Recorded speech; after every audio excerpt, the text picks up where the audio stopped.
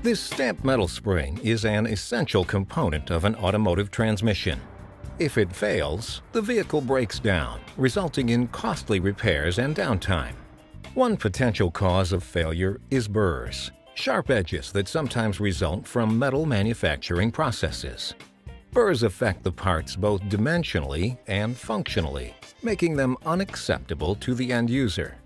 To deburr these springs, the manufacturer was using a vibratory process.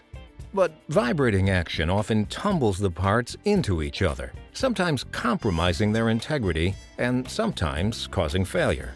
That's why this manufacturer came to Abtex, seeking a superior deburring solution. And this customer's quest for higher quality led to the design of one of Abtex's largest and most sophisticated deburring solutions yet. In Abtex's planetary head design, the stamped metal springs are placed individually on a conveyor belt.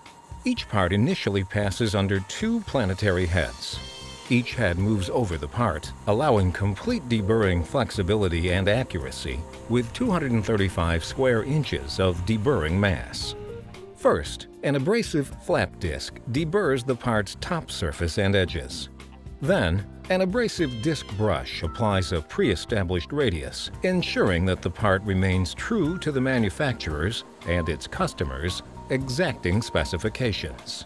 Each part is then transferred by a magnetic conveyor, so the opposite surface can be deburred and radiused by two identical stations mounted below. First the flap disc, then the disc brush.